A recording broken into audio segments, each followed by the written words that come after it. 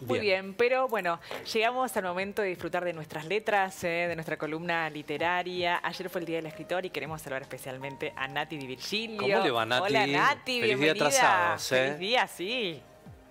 Muchísimas gracias, qué hermoso. Ayer fue un día de festejo, recibiendo mensajes. Hoy vamos a hablar un ratito, ahora vamos a comenzar en la columna hablando un poquito de ello también. Bueno. Pero muchas gracias, mucha emoción, es precioso, la verdad, recibir, Bueno. eh, rega- o sea, de- de- desde ese lugar de reconocimiento, ¿no? Sí, vimos que Bueno, subió a sus para- redes todo eso.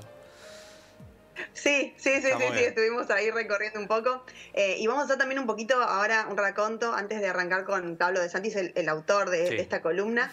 Pero bueno, ayer el día del escritor, como bien decían, eh, y tiene que ver también con Lugones, que ya lo hemos tratado aquí en la columna, pero también eh, cómo se conformó la SA de la Sociedad Argentina de Escritores, a la cual pertenezco, por supuesto, pero eh, en 1928 todo ese, todo ese camino que llevó. Y también mañana es el día del libro, que en Argentina se festeja desde 1908, pero con una ley especial desde 1924. Entonces es una semana súper especial, así que vamos a estar hablando de este autor también que estamos viendo en pantalla. ¿Por qué? Porque también queremos, sabemos que muchos eh, van viendo la columna y también escuchan parte de los géneros. Y eh, este autor no solo habla del género mm, eh, infantil y, fantástico, sino también del policial. Así que vamos a estar recorriendo un poquito algunos tips para que también algunos se animen a escribir. Qué bueno. Está bueno eso, está bueno, sí. Animarnos entonces Sí. a la escritura, ¿no, Nati? Sí, sí, sí. Pablo de Santis es un autor contemporáneo, como bien decíamos, no solo habla de policial, sino también de literatura fantástica. Vamos a estar leyendo dos de sus libros y recomendando. Pero él comenzó eh, como desde la literatura fantástica como historietista. No solo es licenciado en letras, sino que también es eh, historietista y es periodista. Entonces siempre decía que se apoyaba mucho en ambas, en ambas profesiones para poder escribir. Porque para él también escribir es inventar. Y no es, no, es casualidad que su novela más personal, esta que es El inventor de juegos, él lo tomó como casi autobiográfico y decía que eh, hay que animarse a recorrer otras geografías, otros miedos, otros, eh, otros pensamientos y de esa manera inventar. Lo que, lo que él da como tip para escribir es que en este, en este, en este librazo, que es- se trata de un niño, de eh, un adolescente que va a ser seleccionado para un concurso de juegos, todo comienza con la desaparición de sus padres y luego se tiene que mudar a una ciudad, no entiende bien por qué, quién lo está llamando, hasta que se da cuenta que es nieto de, eh, de un famoso historietista y un inventor de juegos, que es lo que él siempre había querido. Así que si quieren les leo un pedacito Dale. para que, para que escuchemos un poquito. Vamos. Cuando su madre descubrió la bailarina rota, habían pasado cuatro meses desde que se había caído. Se puso furioso y prometió cancelar toda clase de paseos, empezando por la competencia de globos. A él le parecía injusto ser castigado por algo que había ocurrido hacía tanto tiempo, y le gritó a su madre que el error no había sido romperla, sino pegarla, porque no había en el mundo un adorno más feo que aquel. No voy a hablarte hasta que no pidas perdón, respondió su madre. Iván se arrepintió de inmediato de lo que había dicho.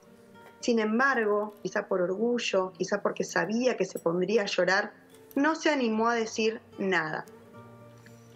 La madre tardaba y tardaba. Faltaba primero una comida, luego un abrigo, al final una botella de champán para beber en las alturas.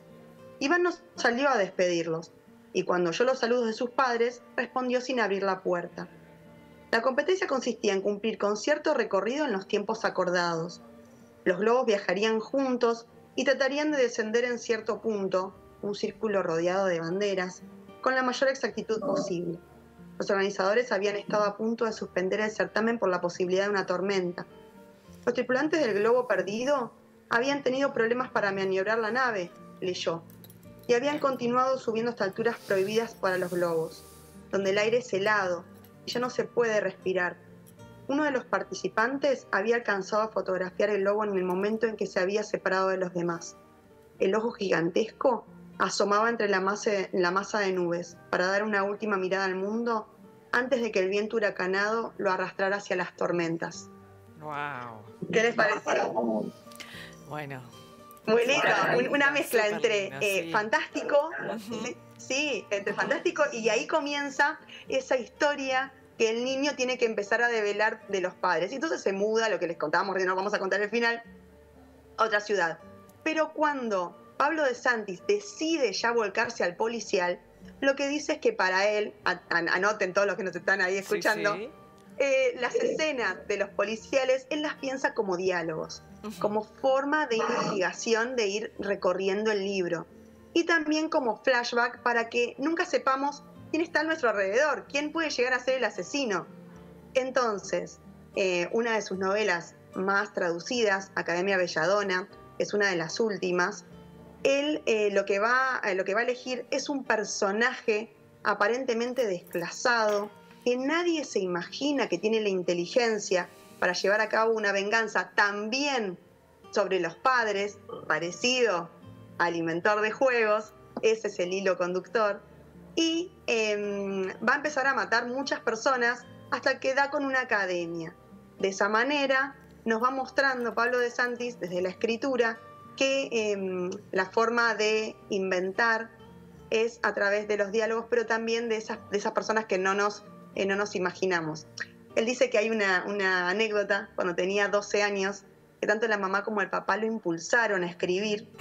La mamá desde la literatura fantástica le regaló un libro de Ray Bradbury, pero el papá compró un bote, lo hacía navegar por el delta, lo hacía perderse en la lectura, hasta que las aletas de los bagres lo picaban.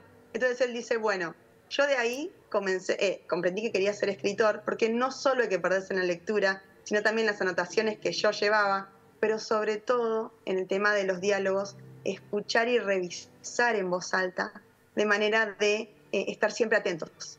Bueno, qué mente, ¿no? Sí, sí, la verdad. ¿eh?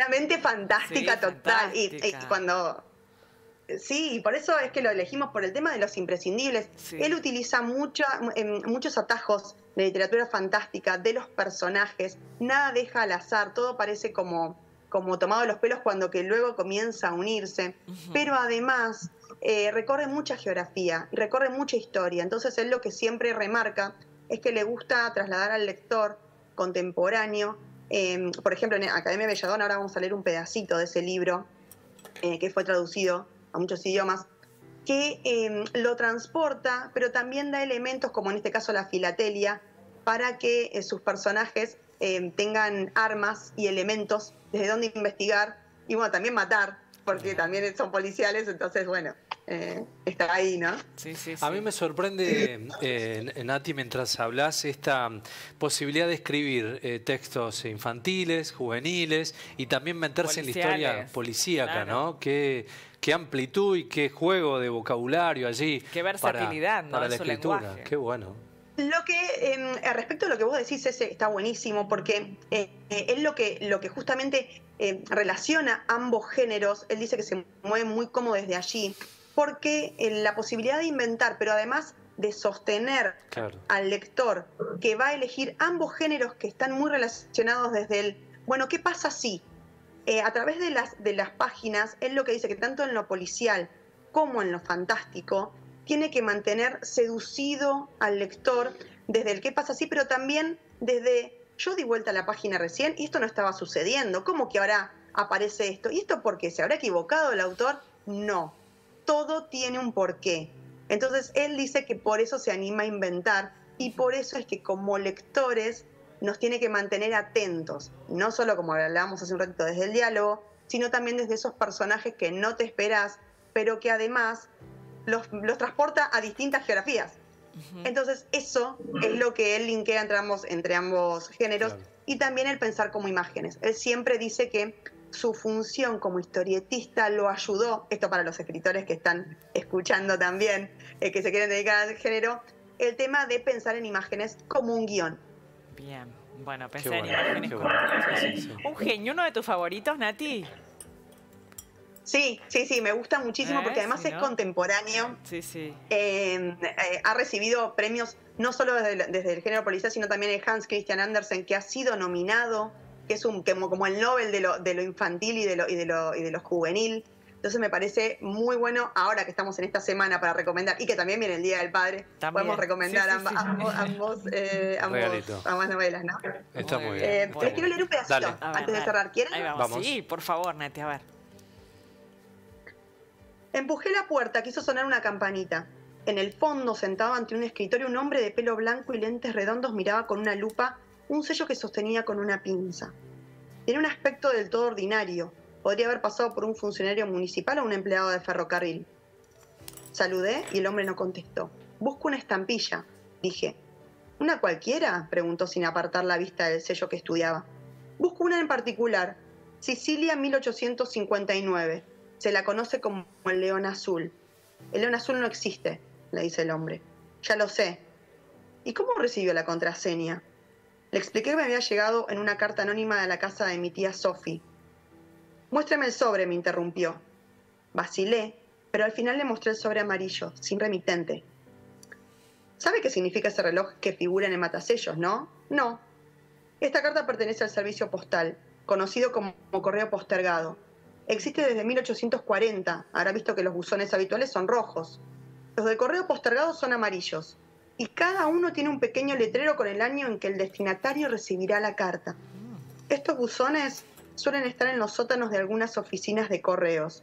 Sobres amarillos, buzones amarillos. El amarillo es el color del tiempo. Y me devolvió el sobre.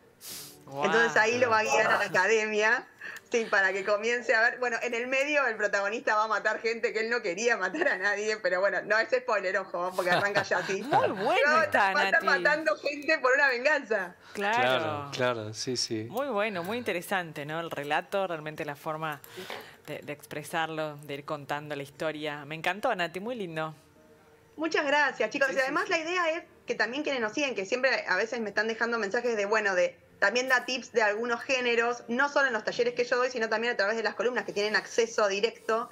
Está bueno. y digo, bueno, ya habíamos hablado de Anne Perry la otra, eh, hace unos casi un mes atrás. Eh, entonces ahora volvemos con el policía, pero ya de nuestro país y ya utilizando otros tips y que están buenísimos esto que, estuvimos hablando, ¿no? Así que espero que si se la perdieron que vuelvan a ver la columna y así y así van anotando todo ahí como un cuadernito. Excelente, Nati. Bueno, también te gracias. Pueden seguir ¿eh? arroba eh, divina-social y allí interactuar, bueno, con vos y con todos tus contenidos, Nati, ¿verdad?